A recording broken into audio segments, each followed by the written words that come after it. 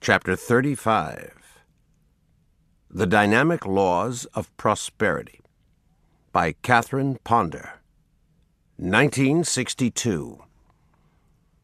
In a nutshell, God does not want you to be poor. Appreciate the universe's abundance and your right to prosperity.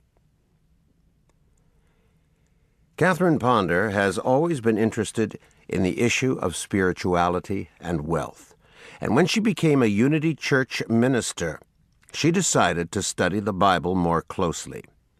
She learned that the identification of piety with poverty had arisen in the Middle Ages, when the feudal system sought to keep people in their place. In childhood, she'd been given to think that a poor Christian is a good Christian, but nowhere in the Bible did she find evidence for this. The more she read, the more she realized that it was a textbook for prosperity. Teaching prosperity. In 1958, when America was in a recession, members of Ponder's congregation were asking her for guidance on how to get through it. She started giving prosperity classes, teaching that prosperity was first and foremost a state of mind, a mindset of lack could only manifest negative results. Many of her members experienced dramatic turnarounds, unexpected raises, promotions, debts paid. Yet what struck Ponder was how many people wondered whether it was right to seek prosperity. That is, whether it was consistent with spiritual values. Didn't the Bible say you cannot serve God and mammon? Matthew chapter 6, verse 24. Didn't Jesus say, How hard is it for them to trust in riches to enter the kingdom? Mark chapter 10, verse 24. Ponder responded to the first question by making a distinction. Mammon is wealth that is worshipped for its own sake. It's wealth without God. Prosperity thinking, on the other hand, puts God first as the source of your supply. She agreed that Jesus had told a wealthy man to go and sell everything he had, but it was because he was still attached to his riches. He did not yet recognize God as the source of his supply. The dynamic laws of prosperity is generally considered to be Ponder's classic work a carefully and compassionately written compendium of the secrets and techniques of prosperity. The following is a sample of her ideas. Desire plus visualization and affirmation equals success. The brain works in terms of mental images, Ponder writes, and whatever images it has are likely to become reality. You can therefore literally see your way to success. When you create prosperous images from scratch, don't be reasonable. Think big. Project thoughts of increase onto others, and you will find that they do prosper in health and monetary terms. Send positive thoughts to those with whom you're in conflict, and watch them soften their stance. That this could work may at first seem incredible, but is simply an extension of the speaking well of others that you were taught to do as a child. Denouncement has a way of bouncing back on you, but pointing out someone's good points while keeping quiet about their bad is both truthful and prospering. Ponder tells of a man who dared to write out hundreds of times how he wished things to be, rather than fretting about how they appeared at the moment. The man was not deluded, but was simply affirming his good, that is, making firm a desire through the power of speech or writing. Desires are healthy, Ponder says. They're like God knocking on the door of our mind the means by which we can develop our full potential. You cannot expect to be successful, she adds, when you idly drift in a stream of small events and small expectations. The secret of turning desires into reality is to write them down. You must be specific about what you want and when exactly you would like to achieve it, because the fuel of the imagination is detail. Remember the phrase, fortune favors the bold. life does seem to clear a path for those who know what they want. Nature respects purpose. Writing things down clarifies your purpose in a way that idle thought cannot. Prosperity is circulation. To attract prosperity, don't ever think about yourself as poor or say that you can't afford something. Count your blessings. Focus on abundance. Look only for opportunities. If you don't have something that you desire, use the vacuum law of prosperity and create room for it by throwing out old goods. Make way for growth. Ponder talks in terms of radiation and attraction. That is, the thoughts that you give out coming back to you in some form. You engage in radiation and attraction all the time, but because you're not properly aware of it, you don't see the error in radiating thoughts of negativity and lack. A person trained in prosperity thinking will be very careful only to think thoughts of prosperity, knowing that nothing but these can attract success back to them.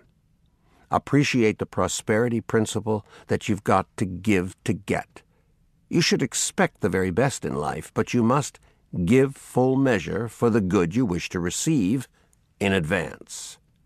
Emerson's famous essay, Compensation, highlighted this basic law of prosperity. Ponder describes a law as a principle that works. The practice of tithing, she argues, puts you in tune with the universal law of circulation. Many people think it old fashioned, but giving away the first tenth of your income demonstrates to yourself that the universe is an abundant place and that in acknowledgement you're returning some of it to its source, just as the farmer returns one tenth of his seed for soil enrichment.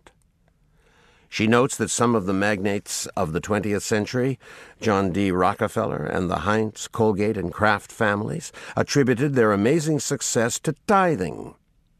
Between 1855 and 1934, Rockefeller gave away over $500 million, and when asked why, his standard line was, God gave me my money.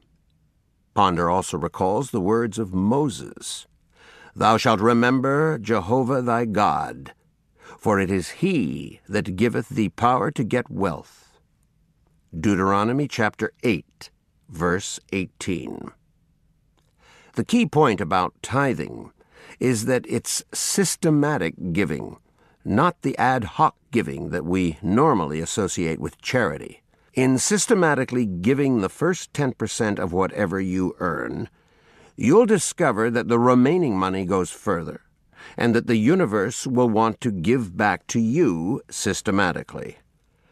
Tithing is much more than dutiful giving to charity. It is also, Ponder points out, an act of personal growth. It does, after all, require courage, by which one evolves into larger giving and larger receiving.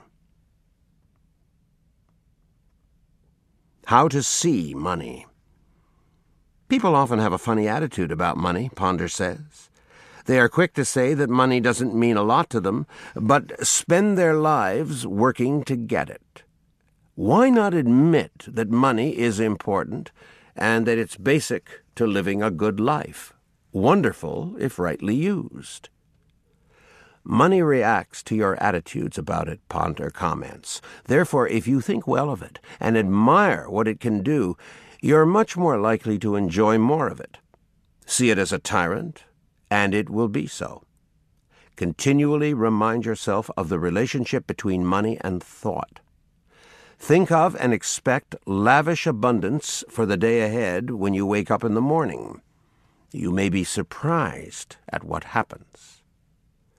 Ponder includes a fascinating reference to Einstein, saying that he shook up the scientific world by proving that substance, or energy, the unformed, is convertible to matter, the formed, which includes money. Einstein showed that the physical and non-physical worlds are convertible and interchangeable. Prosperity thinking acknowledges the connection between the invisible substance or energy that makes up the universe and your thoughts. By connecting the two, you have greater control over the creation of matter. Final comments. This discussion is merely an appetizer. Most of the 20 chapters of the Dynamic Laws of Prosperity deal with a different prosperity law, covering health, debt, work, persistence, intuition, and a truly unusual chapter on the prospering power of charm. Though the book was mostly written in the late 1950s, many of its ideas were ahead of their time. In the face of the conformity of her era, Ponder dares the reader to be different, noting that uniqueness always pays, and it's your duty to be like no other. If you're an academic Bible scholar, you may not agree with Ponder's interpretation of biblical stories, but the book is best read for inspiration and for its quiet good sense about thinking prosperously. The dynamic laws of prosperity may be one of the more unusual success classics, but could be the most valuable to you if you're willing to have an open mind. The chapter on overcoming debt may on its own justify the price of the book. Consider it a spiritual complement to the more nuts and bolts books on financial success. Catherine Ponder. Born in 1927, Catherine Ponder studied education and business in North Carolina before being ordained as a non denominational Unity Church minister in 1958. Her first ministry was in Birmingham, Alabama, followed by Austin, Texas, then San Antonio. In 1973, she moved to Palm Desert, California, where her global ministry continues to this day. Ponder has written 16 books, including The Prosperity Secrets of the Ages, The Dynamic Laws of Healing, The Millionaires of Genesis, The Millionaire Joshua, The Prospering Power of Prayer, and her memoir, A Prosperity Love Story. She has lectured across the United States.